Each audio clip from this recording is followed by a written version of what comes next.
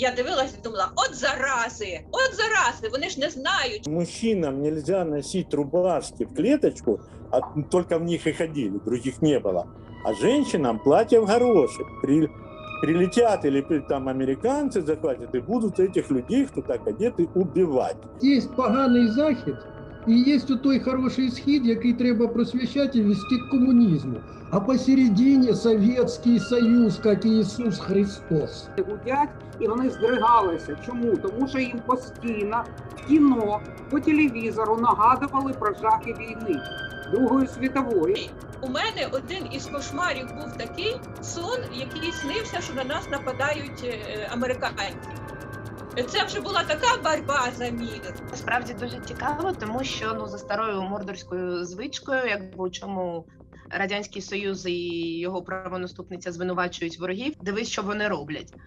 Доброго дня, шановні. Сьогодні в нас вже юбіле- ювілейний, 10-й випуск, 10-та зустріч стосовно е, совка Довбаного. І е, ми 9 е, зустрічей говорили про різні цікаві теми, згадували, що було е, за радянських, за совєтських часів, як воно впливало на наше життя. А сьогодні у нас цікава і дуже знакова тема е, це їжа. Як ви побачили, ми сьогодні поговоримо про невкусну і нездорову піщу. Їжа за совєтів свого часу перетворилась е, на інструмент управління радянським народом, на інструмент ідеологічний. І е, це став е, предметом для безлічі анекдотів. Насправді це і смішно, і боляче, і прикро, і сумно, але це в будь-якому разі впливає на наше сьогодення життя. Ну, я запрошую колег і запрошую всіх, хто нас бачить, приєднатися до нашої сьогоднішньої розмови.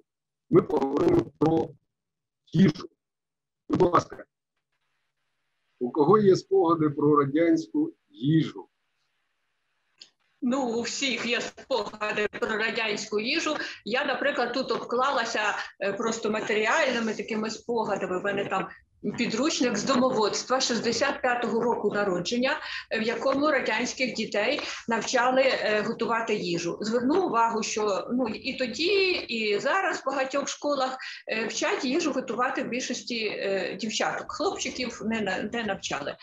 Але е, я коли погортала цей підручник і побачила, що в принципі там була така їжа, яку їли в буденності е, в моє життя. Наприклад, що там діткам пропонували салатів? Ну там було три салати: редька е, з цибулькою. е, Такий весняний салат, який ми їли, огірки з помідорами. Огірки це був дуже поширений продукт в радянському союзі, поки не пригналася фітофтора. Е, Потім з'явилися вже е, е, ну, якісь там штуки на них, і вже можна було знов їх мати. Але з огірків це був такий найбільш поширений салат. А потім, в середині літа, коли з'являлася вже капуста, то робили салат з капусти, додавали туди огірків. І о щастя! Я пам'ятаю 70-ті роки е, в цю миску салату могли порізати одну помідорку. І, звичайно, цю помідорку виловлювали діти, бо то було дуже добре, а капуста з огірками вже дуже крепко всім приїдалася. Ну і коли ці помідорки закінчувались, відповідно, салатний період закінчувався, і починали люди їсти що? Е, Вони починали їсти е, квашену капусту, цю капусту квасили в таких великих діжках, е, чотирьохвідерних каструлях. Це такі гори цієї капусти були, і були такі великі шатківниці. І я пам'ятаю цілий день цією шатківницею шаткуєш, шаткуєш. І, значить, нашатковуєш цієї капусти і цілу зиму цю капусту е, їдять. А що ж, крім салатів їли, е, ця книжка нам показує далі. Після салатів іде картопля. Ну і це власне був е, така карт, такий, е, таке меню було в совку, таке звичайно. Ну, в моєї, наприклад, родини і навколо мене це була картопля е, і салат. Картопля зазвичай була варена і потовчена. Влітку вона була молода картопля, яку їли таку не, потовчену з часничком, що було приправою до картоплі. В селі приправою це були салати, квашенина і ще було кисле молоко. От я ще дуже застала такий час, коли ставили картоплю на вечерю, наприклад, і біля нього ставили миску з кислим молоком таким, і це їли ложкою картоплю, ложкою, значить, це, це кисле молоко. Е, ну, а тепер я з подивом, хоч я цю книжку пам'ятаю, я вчилась в школі пізніше, але вона була, я її дивилась. Я з подивом глянула в цю книжку, щоб подивитися, що ж діткам пропонують е, вивчити як страви. І першою стравою я прочитала назва ось так: картопля нечищена.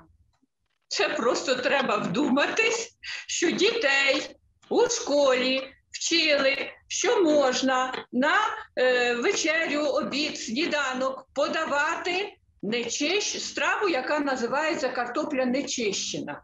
Як же пропонували готувати цю страву? Помити цю картоплю, ну, в нас це називалось картопля в лушпайках. Зварити цю картоплю, а потім пропонували її їсти е, з цибулею, з олією, замороженим салом, квашеною капустою. І я правда хочу сказати, що в нас так, в нас була така їжа. Часом була така їжа, коли вже були взимку, люди дуже втомлені, батьки втомлені, ми втомлені. Я готувала їжу десь е, з третього класу початкової школи на всю родину готувала їжу. Е, І я пам'ятаю, що коли вже не було батьків сил щось готувати ввечері, і не було сил, щоб нас з братом змусити начистити цю картоплю, е, то ми оце таке їли, варили цю картоплю в лушпайках. Зливали воду, кожен там сам її чистив, і до неї подавався такий салат, е, квашена капуста, і там були порізані квашені огірки і присмачено олією. Я хочу сказати, що зараз я це можу іноді їсти, і навіть мені смачно. Тоді в дитинстві ну я це їла, тому що більше нічого не було. Але це так собі страва, ну щоб не вмерти з голоду, скажімо так, вона. Е, і оце була в принципі їжа такої родини, де було двоє дітей е, і двоє батьків, які працювали в освіті. Е, Тобто така інтелігентна родина, де люди з вищою освітою виховували двох діток. І ця родина, значить, мала вже квартиру хрущовку і е, е, город в селі, де вона на цьому городі е, щось вирощувала. Оце, але це так, така штучка, скажімо, щодо буденного меню в порівнянні з цим от радянським домоводством. Ну а потім пізніше я ще розкажу, звідки радянські жінки брали рецепти. Отут у мене є ці журнальчики, але я думаю, зараз ще треба послухати колег. Дякую. Від домашньої їжі хочу перейти. Я готувалася, я говорила з своїми родичами, говорила з своїми друзями про спогади дитинства, хто пам'ятає совок. Моя свекруха, яка виросла в Казахстані, розказувала, що в Україну вони слали посилки, в яких був цукор, чорний колотий цукор, була гречка українська, пшоно і так далі. Вони слали з Казахстану це в Україну її ну, бабусі, тому що в Україні не було їжі. Але ми, власне, згадували про е, е, їжу дитячого садка і школи. І знаєте, у всіх дуже, з ким я говорила, дуже синхронно була така відраза. Розповідали про оці традиційні молочні каші, в яких було про якісь е, вироби з манки. І в, зараз, коли я чую о вкусної і здоровій піші, про ЗОЖ, я весь час думаю про те, що воно було як всевкут, настільки несмачне, що треба було переконати, що воно корисне для того, щоб його з'їсти. І набір продуктів був настільки, е, ну от е, якщо всі бачать заставку, то вони щоб упакований в магазині, щоб е, приготований уже на якійсь общепітовській тарілці, е, я- якогось такого особливого апетиту і задоволення від їжі власне не виникало. І певно, це була така, е, можливо, ідеологія, що нема чого насолоджуватись пересічним. Е, в, потрібно, скажімо, це просто було топливо для будівника комунізму від самого, від самого маличку. Для того, щоб будівник комунізму ну, мав сили там зробити якусь чергову Дніпрогес чи повернути ріки вспять. І в, скажімо, меню з того, що я взяла, оці я говорила каші, це був суп з фрикадельками. Чомусь його називали всі. Такий він мав бути синюшнього кольору і дуже корисний. І компот, чай з великого чана або кава. От кава і какава це такого незрозумілого кольору напій, дуже солодкий, який, власне, ну, ні ні уму, ні серцю, як кажуть, е, троянди і виноград красиве і корисне, то в принципі ніякого естетичного задоволення, ось так, так, з великої каструлі масово приготувати баріста. Це така радянська совєтська баріста так виглядала. І напевно, хто застав той період, всі пам'ятають ті гранчаки, в яких наливали. А, і масло кубиками. От один хліб і масло кубиками. Це власне від общепіта такі спогади. А далі я хотіла б е, пізніше поговорити про ресторанний бізнес Савка. Е, так вийшло, що ми подорожували, і я була таким з дитинства завсідником ресторанів совєтських. От Тому також прекрасний спогад, і в мене є такий е, ще літературний приклад, літературні спогади. Дякую тоді. Колега Наталка, певно, ти? Дивіться, значить, у нас називали картоплю нечищену ні в лошпайпах, а в мундирах. Зверніть увагу, мундир. Не знаю чому, не знаю наскільки це поширено. Е, По делікатеси у мене є села сіл Харків, Харківщини спогад, що таке було, скажімо, на початку 70-х років, ну і очевидно раніше делікатесом в українському селі. Це була е, шматок червон, чорного хліба, намазаного маслом і присипаного цукром. Це було реально найсмачніше, і люди старші, які там виросли, вони це згадують. І це було ну от як зараз торт купити величезний, якийсь такий особливо е, без масла. Що? Я прям не можу мовчати. Цей да. хліб був без масла. Це у вас, це вибачте, вже, ну... це на Вінниччині був без масла, а в багатому колись е, е, селі Вовчанського району Харківської області це було з маслом, тому що Вовчанський повіт е, в 900 році, 1900 був другий найбагатший після Московського. А також е, про посилки. Я да. перепрошую підтримати Оксанку, поливали водичкою, посипали посипали цукром, і це такий також один з делікатесів, коли ми говорили, це хліб намочений водою із цукром, також делікатес. Дивно, що вас не розкуркули. Що ну, ще бачите, я ж кажу, що це був дуже багатий район, другий після московського. А, а значить, стосовно посилок, я сама возила в Москву в 70-ті роки і 80-ті, значить, посилки з України з салом, кабачковою ікрою і насінням нелущеним е, цим яких, ну, соняшниковим. І це був делікатес в Москві, в якій було всього нафіга. Ну, за нашими мірками, тому що у нас ніфіга не було.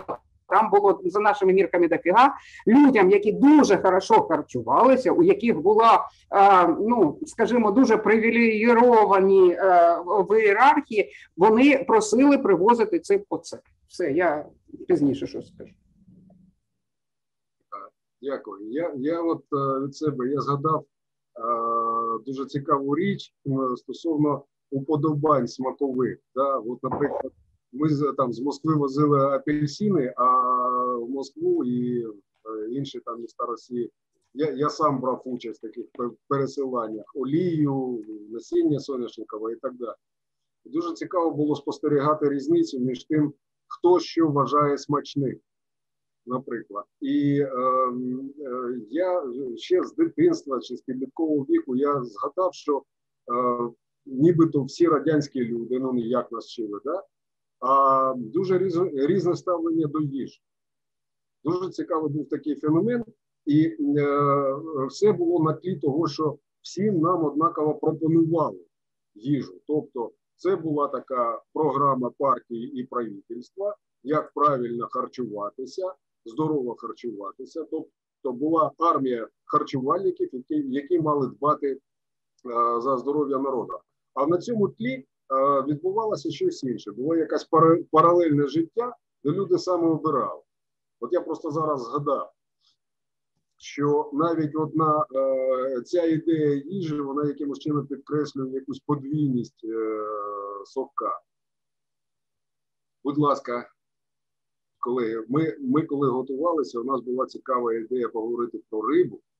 Я показую зараз один із плакатів, який нам прислав один із учасників Фейсбук-групи Совок Довбаний. Якщо вам цікаво, просто наберіть в Фейсбуці Совок Довбаний, і ви її знайдете. Я дуже дякую всім учасникам за велику а, активність. Також от эту от тетю Клаву Баріста, яка розливала каву какао. Вона, щоб ви розуміли, а, в понеділок була кава, а по у вівторок какао. Це було одно і те ж помиї, якісь невідомі.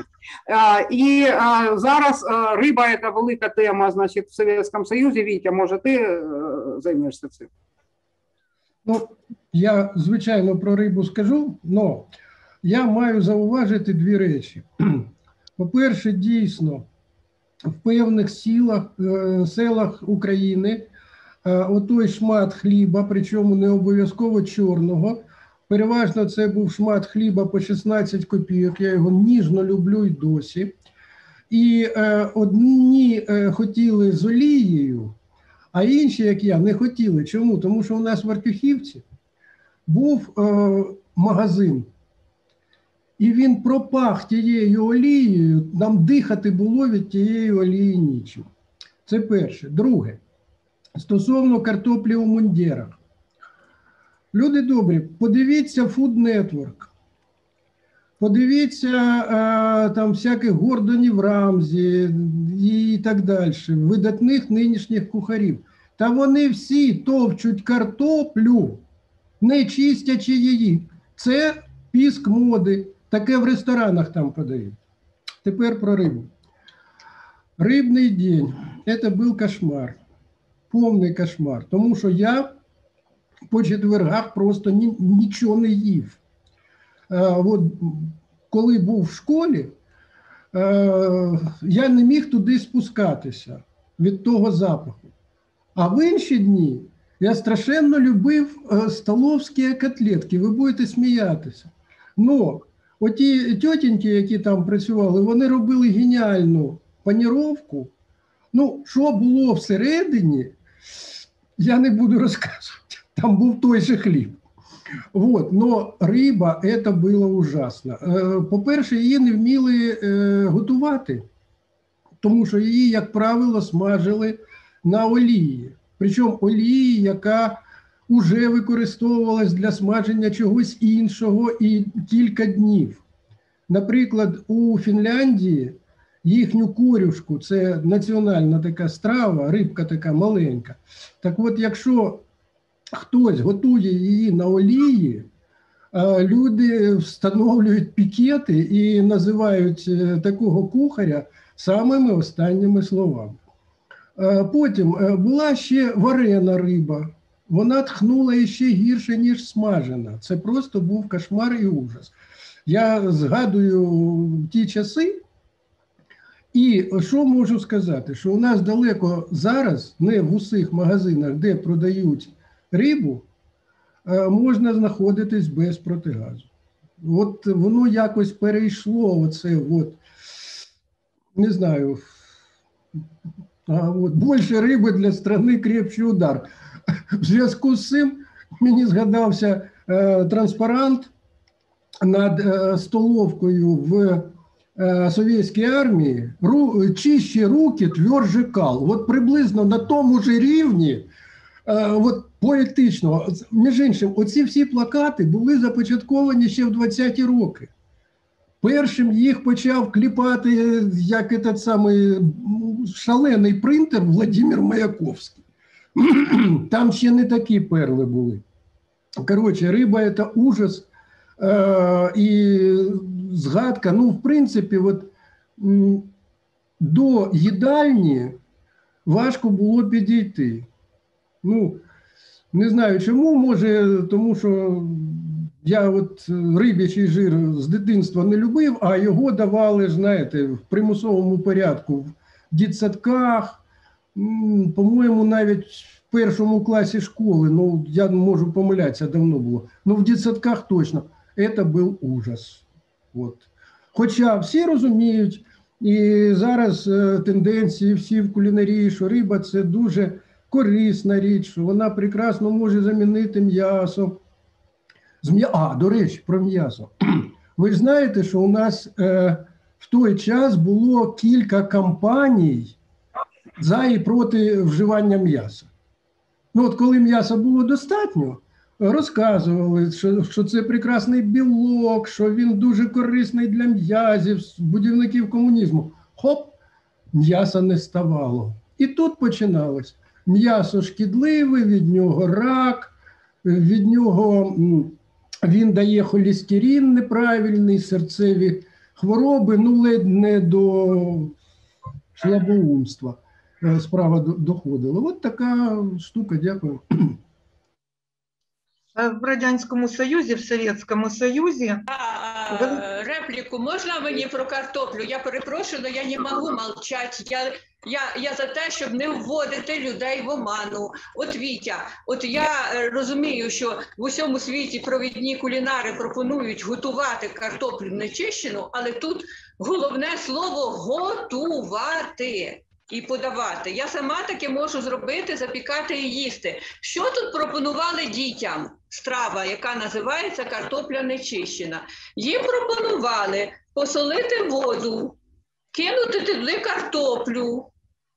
Коли картопля закипить, почекати, е, е, проварити її 25 хвилин, злити воду і подати це діло на стіл. Простіть мене, ну це, це стравою мені це важко назвати, а якщо це їсти регулярно, е, ну не не, не розбавляючи це рибою, м'ясом, оливковою олією, різницею, е, результат буде на обличчі, на волосі і на всьому. Дякую, Лара, будь ласка. Е, певно, що в Совєтському Союзі величезну роль обміну продуктами виконувала справді та Укрпошта. Якийсь час свого життя я прожила в Латвії, біля Лієпа і Лєпа, як кажуть в Латвії. У нас був рибний порт, це раз, і були рибні артелі. До речі, рибні артелі це були в моєму житті перші контрабандисти, тому що ми з бабусею їздили в артіль за рибою. І не звідки в мене з'являлися якась взуття, гарний одяг і так далі. Тобто вони там вирішували ще питання з контрабандою. І посилки з рибою від нас йшли в Україну. В мами була подруга, яка працювала в такій ж самій артелі в Петропавловську-Камчатському. І ми отримали трьохлітрові банки Укрпоштою. Вгадайте з чим? З тим, що треба примушувати себе їсти. І вони розфасовувалися в ті майонезні, пам'ятаєте, маленькі баночки. І далі вони, ми були розповсюдниками, скажімо, отіїх, отих, того, що примусити себе з'їсти. В моєму житті був такий величезний делікатес це кілька автоматів. Вона коштувала у нас 8 копійок, і коли ми йшли з школи, ми економили гроші, купували собі чорний хліб і цю кільку. В парку була лавочка, на якій терчав гвоздь цвяхом, і їли з чорним хлібом. Коли я приходила дома, додому, мама казала, що ти знов їла кільку. Я не могла зрозуміти, звідки вона знає, але ж запах був такий, що мама дорога, це я вже виросла, зрозуміла, що мама там не читала по очах, просто мене відчувала той запах. В Латвії також, е, ну щоб не було, не відчували себе дуже Європою і пам'ятали, що вони в Савку, була рибна колбаса. Ну і шпротний паштет. Він е, з, використовувався з відходів риби, і він далі йшов по Союзу. От колбасу я не знаю, чи, чи розвозили. А от колбаса це був такий лютий треш. Е, ну, нагадування таке жорстке, що ми все-таки всі із Савка. І щоб перейти на іншу тему, ще хотіла б, знаєте, згадати. Е,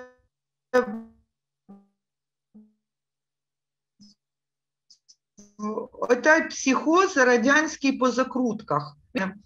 На антресолях, в шаф, на шафах, на буфетах банки з закрутками. Це було такий, ну, для мене таке дуже яскравий спогад. І одного разу ми приїхали до родичів в Миколаїв, і якраз був період консервації. Уявляєте, Хрущовка, така маленька кухня, де поміщується тільки одна людина. Вона виглядала як пекло. Тому що із того, що людина вхопила, скажімо, на таких базарах і базарчиках, треба було встигти зробити отой запас, тому що далі були такі, знаєте, півтораметрові огірки в магазинах е, з таких е, з овочеві магазини. Хто пам'ятає, вони були із бетону, металу і скла. І там було таке вітя, запахи. Отой був страшний запах гниючих овочів, овочів. Рибні це запах гниючої риби.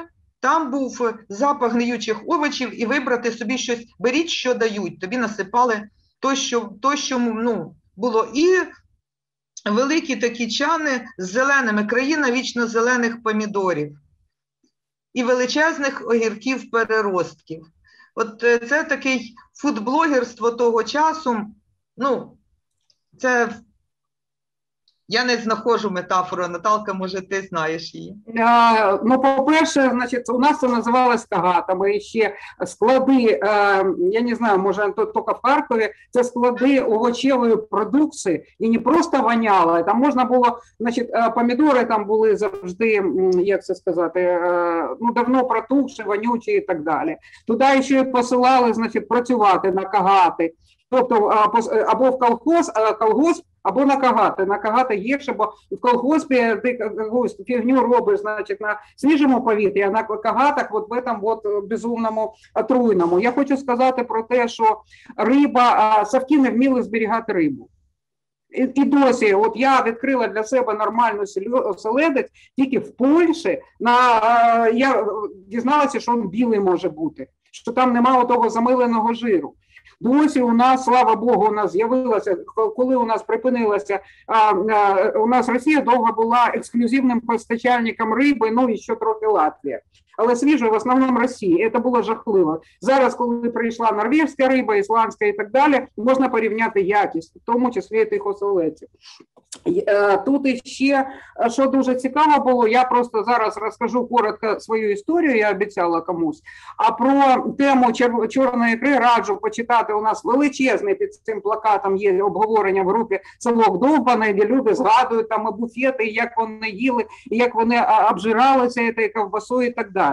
А я хочу вам розказати про те, як я вперше в м, 1982 році, 1 вересня, прийшла в е, поступила на перший курс Харківського політехнічного інституту і пішла, значить, поїсти в столовку. У нас була столова студентська, у нас була столовка е, викладацька, і у нас був буфет. І от в буфеті я купила те, що ви бачите на картинці м'ясні хлібці. Я ніколи раніше цього не їла. Це було дуже цікаво, виглядало дуже круто.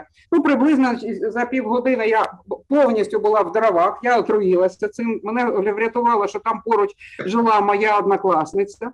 А я прийшла додому, і тато мені наступного дня повів мене. Він теж працював в Харківському політехнічному інституті викладачем. Він повів мене в столовку і вчив мене, як треба їсти. Значить, їсти так, не брати ні в коєму разі рибу, м'ясо взагалі ні. Брати можна тільки, значить, щось овочеве, щось з картопля і сметану. І отут я ніколи не забуду картину, коли, значить, він мене посадив за стіл разом з ем, вірніше, там була така розставка, ну це самообслуговування, а потім, значить, можна було сісти за стіл. І от ми разом з ним і з його співробітником сіли і за цей стіл. І, е, і співробітник, значить. Поки ми замовляли, він каже таке, там була запіканка, от це ще можна було їсти. Це була із творога, що і яєць, щось зроблено.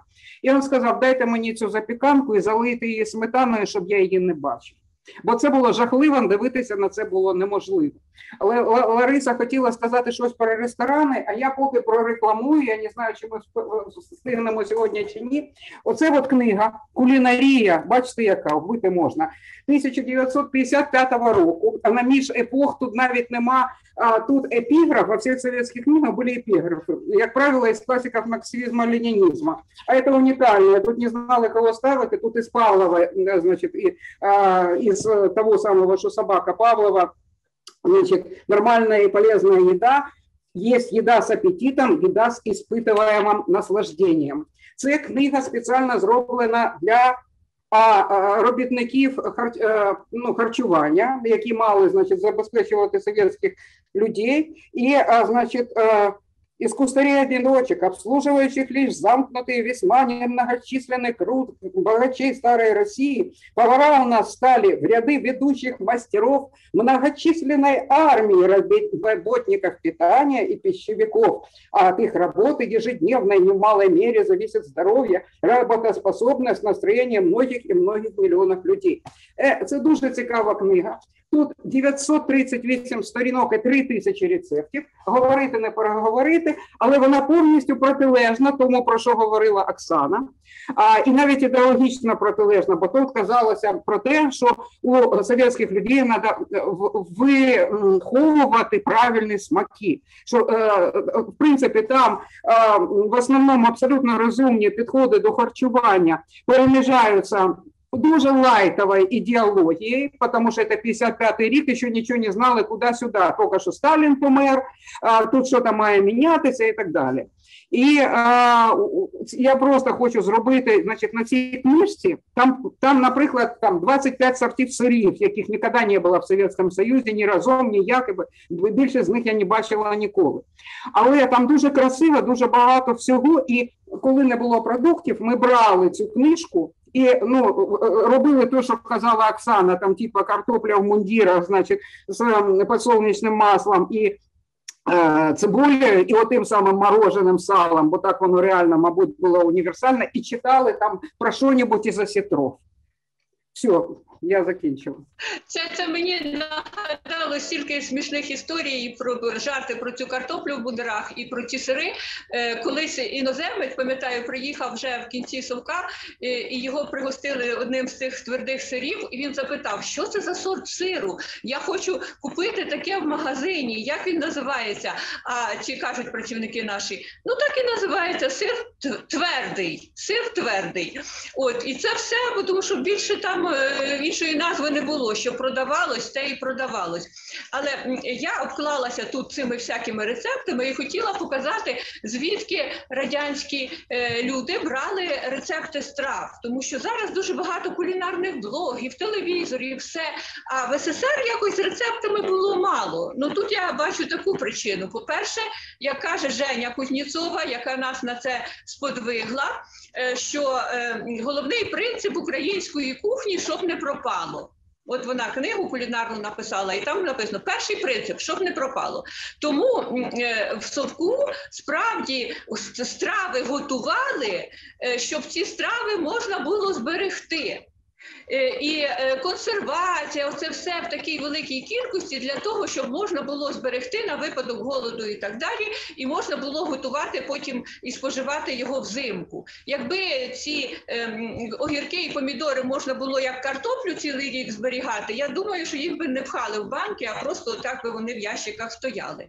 Але ж де ж е, люди брали ці все одно якісь рецепти друкувалися? От у мене є два журнали радянських. Один з них називається Работниця і селянка, це білоруські, е, видавали 77 рік, а другий називається Радянська жінка. Тут якраз молодий блохін з якоюсь дитиною на обкладинці. Це щось спорту присвячено. Це рік 86-й. І от е, часом я читаю різні жіночі спільноти. І там е, особливо такі феміністичного спрямування, і там кажуть, вплив, оце вплив, що жінка має працювати вдома багато, це вплив, значить, СССР. Я хочу сказати, ну не зовсім є так. Тому що коли я дивлюсь цей журнал, в цьому журналі сторінок 30 десь так. І оці всі 30 сторінок це з Леніним у серці, якась література, до зустрічі в Москві, бригадний підряд, школа каменяра. е, Тут е, е, одеські парасольки це не лірична історія, а про фабрику, де ці парасольки виробляють там і ремонтують. Е, Тут, значить, спочатку е, рішення партії в життя. От бачите, е, в більшості журналів така отут зверху штучечка. Це про рішення е, посилання на якісь партійні рішення е, з цього. І от е, одна малесенька частиночка на передостанній сторінці це рецепти. Е, радянські жінки вони ці рецепти шукали, щоб хоч якось урізноманітнити ці страви. І я подивилась, рецепти, в принципі, непогані. Буряковий квас, буряк тушкований в сметані, е, запіканка з морквою, холодний борщ з буряків. Але я пам'ятаю своєї родини, що, наприклад, моя бабуся вона категорично проти була готувати якісь оці овочеві страви, бурякові кваси чи ще щось таке. Це все її повертало в голодні роки, коли їли е, невідомо що, і вона страшенно опиралася. І так було багато людей, які вважали, що якщо це пропонується офіційно, то це значить, е, пани партії вони їдять самі ікру себе заставляють, а всім іншим пропонують, наприклад, морську капусту. І тому цього не купували і цьому не опиралися е, велика кількість людей. Вони це, ну так би мовити, бойкотували. І через те ці рецепти збиралися е, в папочку, і вони майже не використовувались. А ще була така рецептна штука: були такі відривні календарі. Оцей календар чіпляли на стіні, і наступний день кожен відривали цей листочок. Я ще пам'ятаю, як я дитиною це відривала. І тут на звороті листочка ну теж була партія, Ленін і все інше, але кожного місяця був якийсь е, викрійка і рецепт. І там теж готували, шукали різні рецепти. Ну, і переважно звідти брали якогось печива для дітей. От я не можу згадати, щоб е, в СССР ми готували щось типу цього бурякового квасу, але я з подивом бачу, що воно в цьому журналі таке було. От не готували печивко, ще якесь могли з календаря спекти. А от буряковим квасом не морочились, хоча зараз ми це таке робимо і вважаємо це достатньо хорошою стравою. Е, і е, оце, ну, оце те, що було доступно. Доступно українській жінці, воно видавалось накладом до трьох мільйонів і справді поширювало якісь погляди про те, якою має бути жінка, е, і що вона має готувати на кухні, і ким вона має бути. Дякую. Вітя, будь ласка. Ну, я хотів би ще до цього всього згадати одну таку річ. По-перше, починаючи з часів кривавої громадянської війни, потім була друга. Їжа це був е, такий же точно статусний об'єкт, як і, наприклад, власна хата. Ну, потім машина, потім дача кляча, яхта і так далі. Тобто для середньостатистичної совєтської родини добре поїсти можна було реально тільки на якесь свято. От до свята готувались, запасалися там делікатесами, ну, які змогли дістати, і так далі, і тому подібне. І е, це, ну, як вам сказати, це замість насолодження і отримання всіх необхідних е, харчових, так би мовити, е, речей з їжі, е, було так, що більшу частину року їли оту саму картоплю в мундірах з квашеною капустою, а от на свято, ну а таких свят було не так і багато. Правда, були, наприклад, у нас було таке родинне свято, це коли приїжджав з Москви дядя Ваня. Тоді робили качку, робили масу дуже смачнючих речей. А от між його приїздами, а він приїжджав тільки раз на рік, він е, або їхав е, на відпочинок у Крим, або повертався ну, через Харків до Москви. І от тоді я насолоджувався прекрасною кулінарією мами і моєї тітоньки Наталі.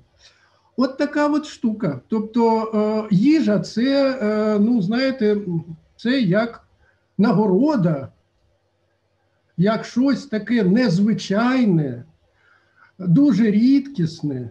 А всі інші дні це як этот у Ільфа і Петрова. Он не їв, он питався репкою, пам'ятаєте, про корейку. От таке от. Так що їжа це була нагорода. Звичайно, що партійні і совєтські начальники вони е, були нагороджені доволі регулярно. У них непогано було. До речі, про сорти сиру я їх пам'ятаю такі. Значить, швейцарський, совєтський, російський, український і пашихонський. Ото от останнє їсти було неможливо. Най, найсмачніший був швейцарський. Я його смак і досі пам'ятаю. Він такий е, рожевенький був.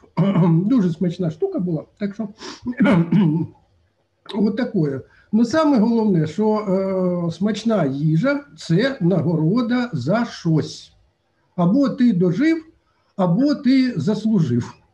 От такое, дякую.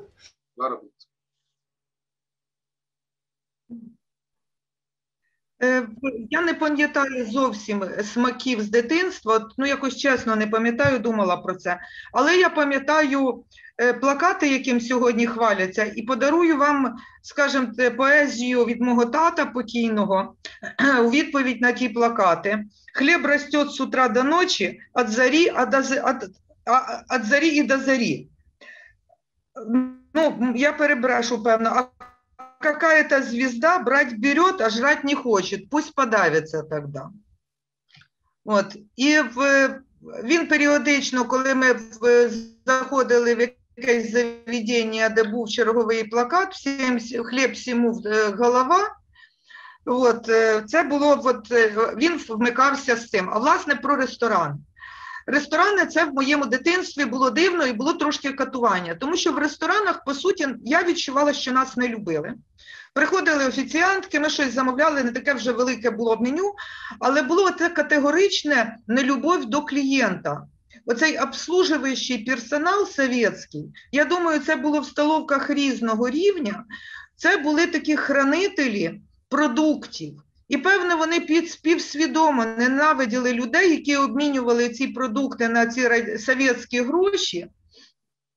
І в офіціантів цілий був такий кодекс, як плюнути там в блюдо, як покласти туди палець, коли подавати, як взяти замовлення, через деякий час прийти і сказати, що цього продукту немає.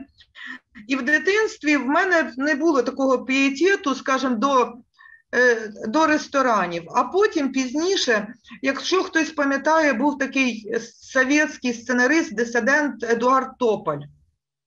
Він поїхав і знаменитий, власне, він політичними романами. Але якщо ви знайдете таку книжку з чотирьох частин Я хочу твою дівушку, це описується подорож Тополя і Стефановича, той, що був режисером фільму Душа про Пугачову.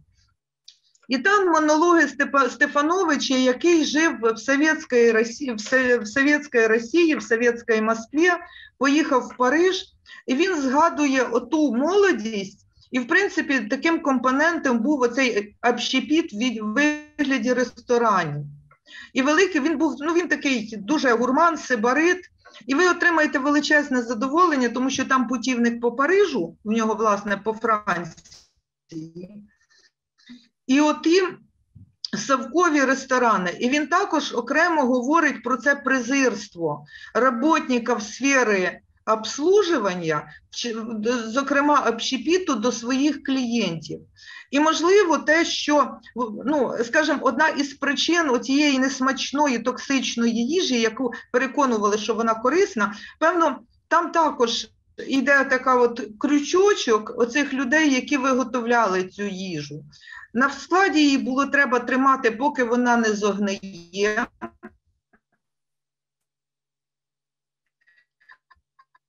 В магазині її потрібно було викидати і приготувати в такий спосіб, ну в тій ту каву і какао комунізму приниження. на поганій посуді і так далі. І зараз, коли я про це думаю, певно, вимальовується, ми поговорили, вимальовується таку, е, така дуже стройна концепція ставлення до будівника комунізму через призму їжі, призму общепіта і призму постачання. Дякую.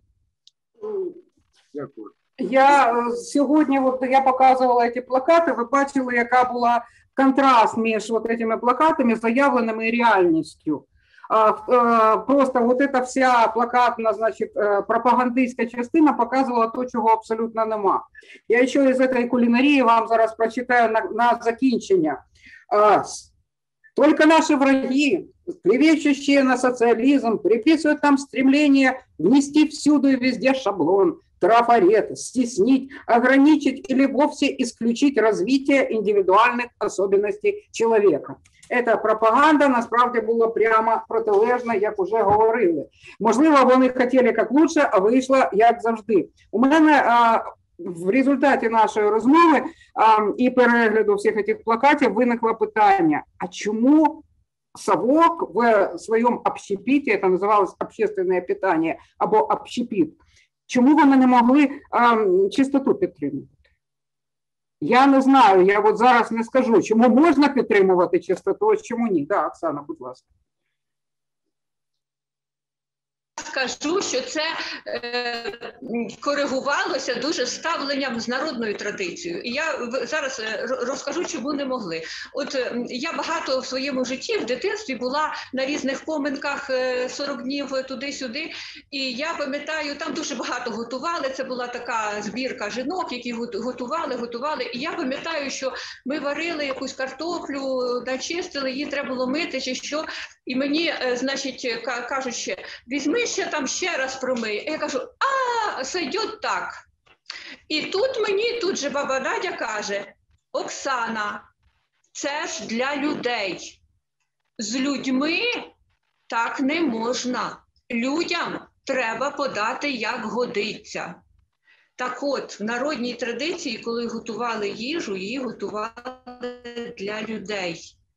Ті, хто готували її в їдальнях, я не знаю, для кого вони її готували. Для того, щоб якомога більше їм залишилось продуктів, які вони потім кудись е, відкладуть. Ось таке пояснення. Ну, ми маємо фіналізувати. Дивіться, у нас е, тема дуже цікава, і в мене є таке враження, що е, тема їжі е, чіпляє усіх, і є багато що сказати. Можна буде продовжувати. Е, я від себе скажу, от висновок такий, що у нас було народонаселення, а було були люди, і у нас е, було питання і було їжа. І е, це, на жаль, от ставлення до людей, ставлення до е, того, чим вони живуть, воно продовжується і сьогодні. І чистота, і того, що ми не знали, що ми їмо, е, і е, доступність, і так далі. То воно продовжується і сьогодні. І е, від себе я запропоную на майбутнє обрати тему, а як от ці прояви совка, про які ми говорили раніше, вони впливають на нас сьогодні. Е, Лара, будь ласка, і будемо закінчувати. Е, Я згадала те, що називались в общепіті гарячий цех, холодний цех, не кухня, а оця от, е, е, скажімо, штампи з е, виробництва, з таких потоків великих, воно називалось цехами. І особливо заморочуватися стосовно дотримання якихось е, норм в цеху, певно, що е, не намагались. Плюс економія, менше відходів, економіка должна бути економною, от і так далі. Тому максимально більше все пустити в їжу, все пустити в продажу, не, не переймаючись тим, що щось вже їсти не можна. От, зробити обороти, тому що родина від того багатіє. От, да, з пивом це прекрасно, требуй доліва, і це певно окрема тема про людей, які торгували водою і пивом. У нас в Жмеринці на вокзалі була прекрасна жінка, там, коли зупинявся довго поїзд, ми приїжджали. Вам воду з сиропом или без? Без. Вам без малинового или без вишньового? Дякую. Ну, ми маємо закінчувати. Ми перебираємо час. Будь ласка, Наталка. Наталка, як, е, як завжди, нагадує про те, що якщо вам це подобається, то підписуйтеся на все, що тільки бачите. Підписуйтеся на нас на Фейсбуці, підписуйтеся на нас на Ютубі. І два слова про нас, хто ми такі, як нас підтримати. Дякую за увагу. Інформаційний центр Майдан Моніторинг це неприбуткова громадська організація, що прагне підвищити рівень безпеки в Україні. Як ми це робимо? Ми моніторимо загрози громадянським свободам. Ми постійно вивчаємо нові технології та поширюємо нові знання для покращення культури суспільного спілкування. Ми організовуємо відкриті діалоги з владою, аби заохотити спільні дії корисній громаді. Ми розбудовуємо міжнародне співтовариство експертів з безпеки. Ми говоримо правду навіть тоді, коли більшість не готова її чути. Ми допомагаємо опиратися руйнівним російським впливом на свідомість людей задля зменшення рівня насильства в українському суспільстві. Підтримка нашої діяльності підвищує вашу безпеку та допомагає Україні стати сучасною європейською демократією. Підтримайте Майдан Монітор.